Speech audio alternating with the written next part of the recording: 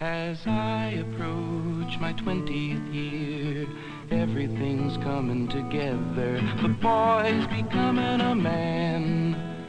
The dreams I've shaped are close at hand. Well, ready or not, world, here I come.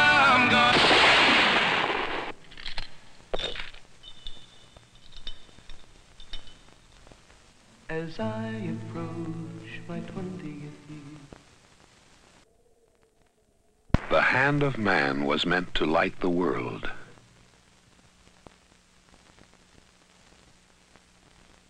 And he did.